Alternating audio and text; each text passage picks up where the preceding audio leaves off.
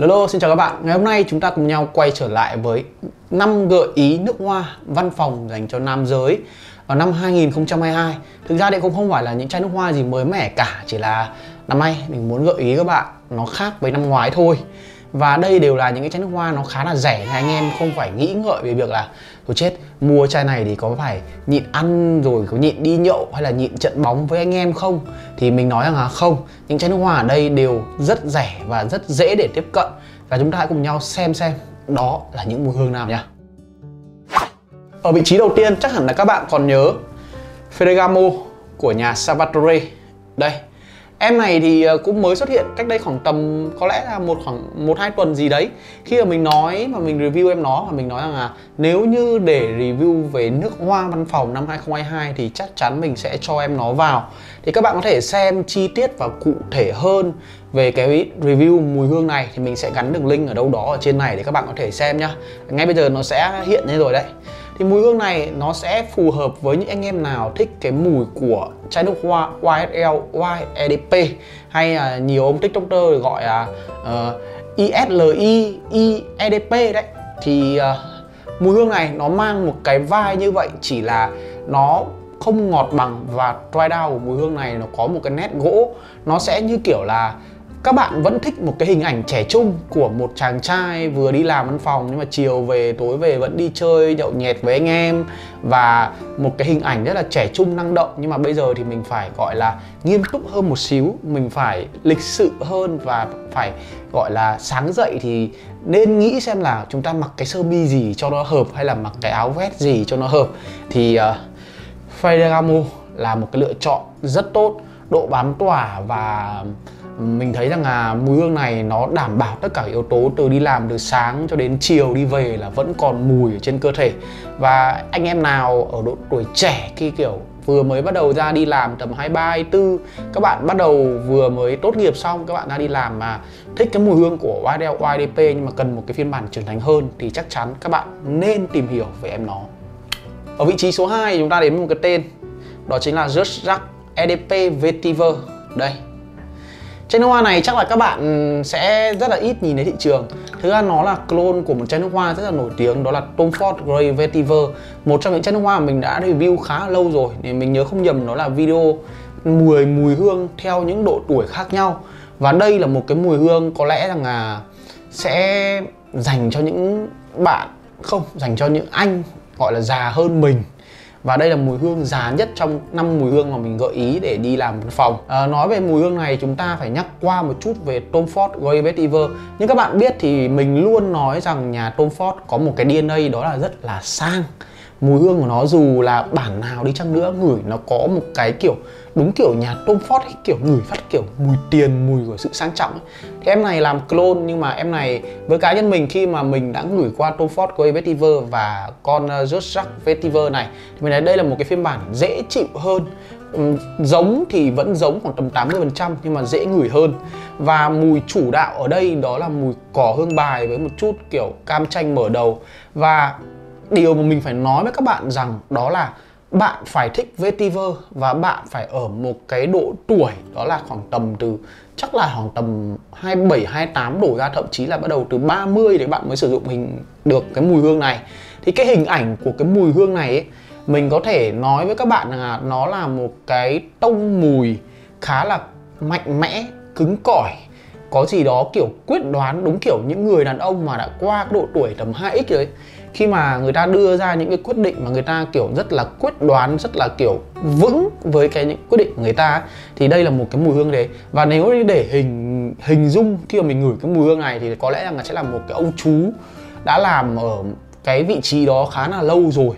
Và ông chú này như kiểu là ma cũ vậy và mỗi khi mà nhìn thì có vẻ, những người mới nhìn thì có vẻ nhìn kiểu chú hơi khó tính một tí. Nhưng mà mùi hương này thì nó làm mình liên tưởng tới một sự cứng cỏi, một sự quyết đoán, một sự mạnh mẽ của một người đàn ông. Nhưng mà cũng có phần hơi kiểu gọi là kiểu bảo thủ một tí. Thì mùi hương này là một cái tông mùi rất là tươi mát và nó xuất hiện cái nốt hương của cỏ vetiver. Nhưng vetiver ở đây không bị quá là khô, nó vẫn có cái cảm giác rất là kiểu vetiver mát, sử dụng rất là tốt trong mùa hè. Và cái cảm giác như kiểu là khi mà mình ngửi mùi hương này mình có cảm giác kiểu gần gũi như kiểu mình ngồi nói chuyện với các chú với các bố mà những người đàn ông đã từng trải rất là nhiều ấy. Thì uh, đây là một cái lựa chọn rất là rẻ nếu như bạn muốn thay thế Tom Ford Grey Vetiver hay là bạn đang muốn tìm cho mình một cái mùi hương có thể xịt được mùa hè ở văn phòng. Và ở một cái độ tuổi tầm ngoài 30 và về độ bám tỏa thì mùi hương này nó lưu ở trên da trung bình tầm 6 đến 7 tiếng. Và cái độ tỏa hương thì tầm nửa cánh tay, nó có loanh quanh tầm nửa cánh tay thôi, nó cũng không phải là quá là tốt. Nhưng mà có nghĩa là khi mà các bạn tiếp cận, tiếp xúc với nhau thì các bạn sẽ ngửi thấy mùi hương này. Thì đây là một cái lựa chọn mình nghĩ rằng là sẽ dành cho những anh em lớn tuổi, không phải bảo là mình toàn làm mấy mùi trẻ ờ, mình tầm 30 35 mình không xịt được. Thì đây nhá, chắc chắn ra rồi chúng ta bây giờ lại quay lại trẻ đi. Đó chính là Pretty Elite America. Chai nước hoa mình đã review đã có video đi phỏng vấn và thực sự rất là tiếc vì em nó không thể nào thắng được YDP thì công nhận là ngày hôm đấy mình cũng nếu mà mình muốn thì mình thừa sức có thể uh, edit cho America thắng. Nhưng mà sự thật thì uh, đôi khi lại uh, không được như mình mong muốn. Nhưng mà như vậy thì ừ, có thể mọi người lại không mua America. Thế là mình cũng đỡ bị đụng hàng. Thì nếu như bạn nào đang ở một cái độ tuổi đó là các bạn đang đi thực tập các bạn đang mặc những chiếc quần jean, các bạn mặc những chiếc áo phông, có thể là ngà lựa chọn thêm một cái áo phông có cổ để các bạn đi thực tập ở những cái môi trường kiểu văn phòng. Thì đây là một cái mùi hương dành cho các bạn. Như cái nhân vật đại diện của chai nước hoa này, đó là một cặp đôi nam nữ mặc một cái tông màu xanh và đỏ. Như mình đã nói, thì ờ, nó mang lại một cái sự đúng kiểu tuổi trẻ. Mình không có gì cả ngoài một cái sự trẻ trung, một cái sự nhiệt huyết, một cái sự năng động. Tất nhiên là ở đây nó có một cái chút bay ngọt nữa nó sẽ vẫn có một chút kiểu đúng kiểu tuổi trẻ có một chút kiểu mơ mộng ấy. Thì mùi hương này là mùi của dứa. Nó sẽ khi mà mới xịt ra ấy, nó sẽ làm bạn liên tưởng một phần nào đó tới chai nước hoa Quid Aventus những cái phiên bản nhiều dứa hay là Nissan Hashivat nhưng mà một cái phiên bản nhẹ nhàng hơn. Thì như mình nói là em này là một cái phiên bản ở giữa Nissan Hashivat giữa uh, Supremacy Not Only in 10 hay là um, Quid Aventus và dry down nó ra một cái nét nhựa nó làm cho dứa mềm mại hơn và nó cũng có điểm nhấn hơn. Thì America mình đã có review rồi. Đường link cũng sẽ hiện ở phía trên để cho các bạn.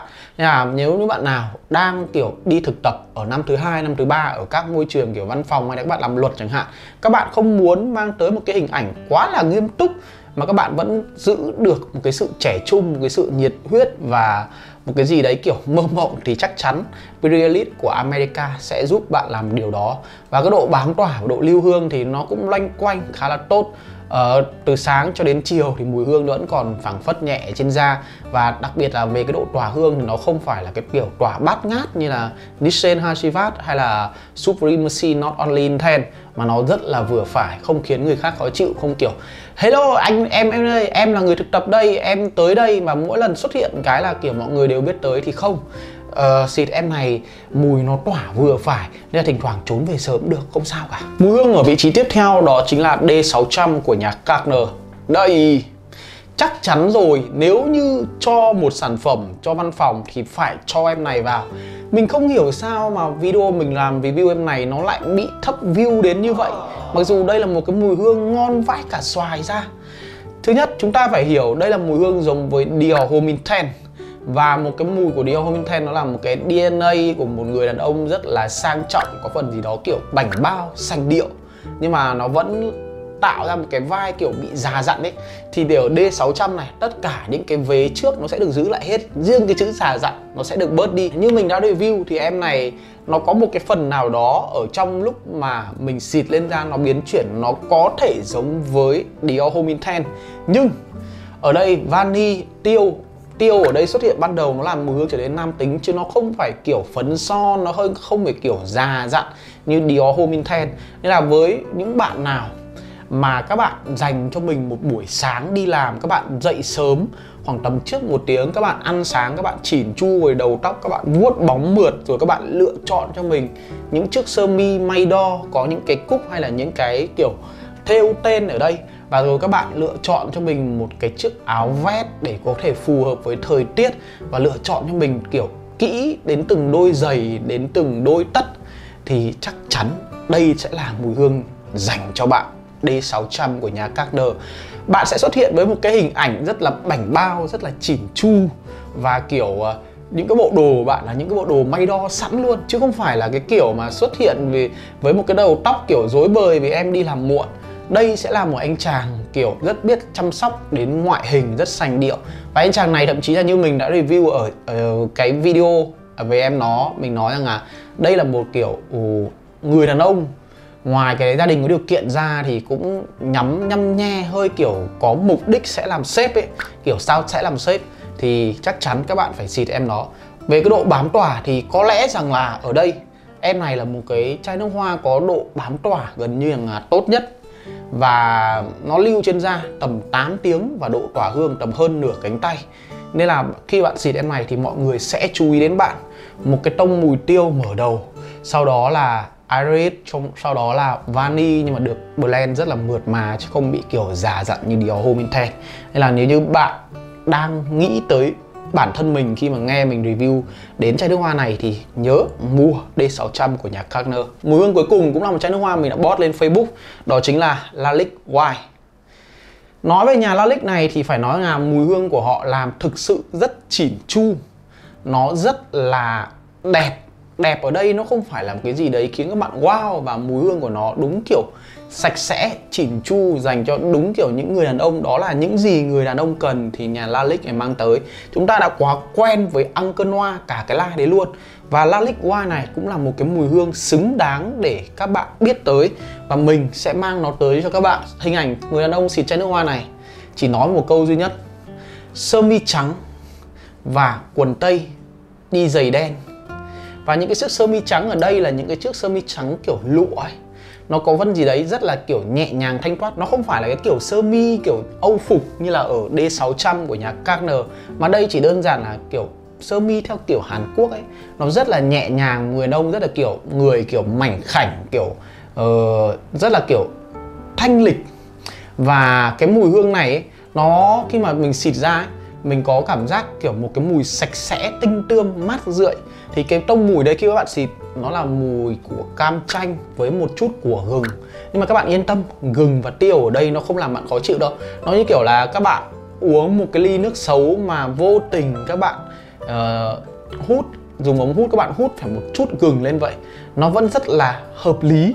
Kiểu mặc dù ở trong nước xấu ngửi đang rất là mát đúng không? Đang rất là ngọt. Nên hút phải chút gừng, nhưng mà các bạn thấy không, nó chả vấn đề gì cả, các bạn có thể gạt nó ra và các bạn bắt đầu uống tiếp và các bạn lại ăn những cái nước xấu. Thì cái gừng ở đây nó làm cho cái mùi hương cảm giác juicy hơn và có cảm giác kiểu có một phần nào đó kiểu sạch sẽ và nam tính hơn. Và dry down của mùi hương này lên một cái nét xạ rất là sạch đúng kiểu một anh chàng sơ mi trắng, quần âu, thế thôi, đầu tóc kiểu cắt gọn gàng. Không phải quá là nhiều điểm nhấn như là ở D600 mà ở đây chỉ đơn giản là tôi là một người rất chỉn chu, rất gọn gàng trong đi làm, tôi không quá là màu mè. Và đó là điều mà tôi mang tới. Và mình nghĩ rằng là đây sẽ là mùi hương mà khiến các chị em ở văn phòng thích nhiều hơn. Tại vì chung quy lại những cái thứ màu mè, nhưng mà đôi khi với mình thì mình không thể nào, kiểu, màu mè được mãi. Nhưng mà với những cái thứ, kiểu, đơn giản hàng ngày như thế này, đến từ là nhà Lalique White thì chắc chắn các bạn sẽ rất là thích. Về cái độ bám tỏa thì mùi hương này nó lại hơi hạn chế về cái độ lưu hương. Khi mà trên da mình nó tầm 6 tiếng và cái độ tỏa hương nó chỉ khoảng tầm nửa cánh tay quay đầu và sau khoảng tầm 3 tiếng xịt thì nó rất là mỏng, nó kiểu lớp skin scent thôi. Nhiều người nói là đây là mùi của me. Nhưng mà thực sự khi khi mà mình xịt ra mình không thấy giống mùi của me lắm. Nên là anh em nào xịt cái mùi hương này thấy giống mùi của me thì anh em hãy ờ, bình luận ở phía dưới. Và cái mùi hương này thì mình nghĩ là với một cái độ tuổi thì chắc là không có đâu. Chỉ cần bạn mặc sơ mi, trắng và quần âu, thế thôi là bạn có thể xịt được rồi không phải là trẻ hay già cả. Một cái vai mùi kiểu sạch sẽ, nó giống như kiểu Nautica Voyage ấy. Nó sẽ làm mang tới một cái sự sạch sẽ, một cái sự kiểu ờ, tinh tươm, kiểu không bao giờ phải suy nghĩ về cái độ tuổi. Thì đây là một cái mùi như vậy. Chắc chắn các bạn phải thử qua. Nếu như các bạn làm văn phòng mà kiểu không quá nổi bật nhưng mà cũng không quá bị lu mờ, không quá kiểu bố nhách. Và vừa rồi đó là năm gợi ý của mình về nước hoa văn phòng cho nam ở cái phân khúc rẻ rẻ một xíu năm 2022 và nếu như các bạn đã sử dụng qua những chai nước hoa này rồi thì đừng quên việc bình luận, chia sẻ, cảm nhận ở phía dưới. Và nhớ like, share cũng như là ấn nút chung theo dõi để có thể nhận được nhiều video mới hơn. Hy vọng là 30.000 sub và chúng ta nhanh nhanh nhanh chúng ta 50.000 sub để mình còn làm giveaway cho các bạn. Còn bây giờ đi xin chào và hẹn gặp lại. Bye bye.